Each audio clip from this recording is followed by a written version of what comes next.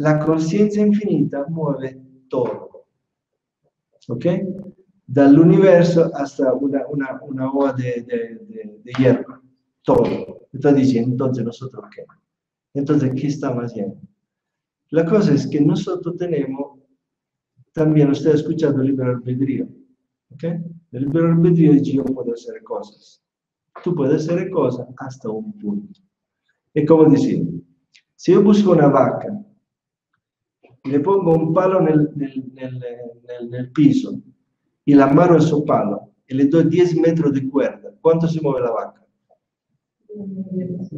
Dentro del radio, 10 metros, un poquito, pero dal palo a los 10 metros, 10 metros es el máximo, eso es lo que se mueve.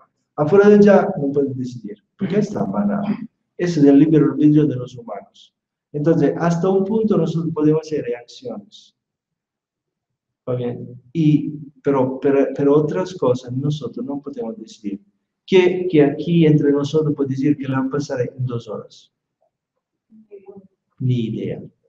Tú dices, bueno, en dos horas voy a ser 10 y 20, me, me voy a acostar, estoy así, así. No.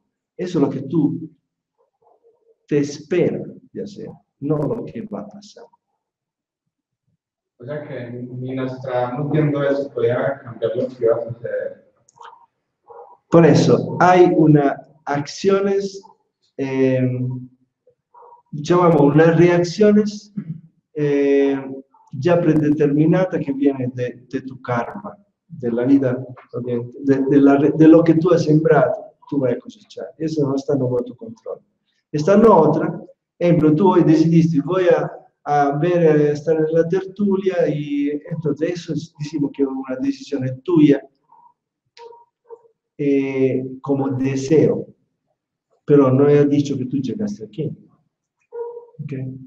Entonces, hasta un punto hay, tú puedes decidir y a otra parte tú no puedes decidir absolutamente nada. Decimos, yo me salgo de aquí y dices, bueno, me voy por la carretera bajando o me voy por la canalización. ¿Sí? En la canalización está un camión que llega y me choca. De aquí no. ¿Quién que decidió eso? Tú era tu destino encontrarte el camión o no encontrarte. Ese era tu destino.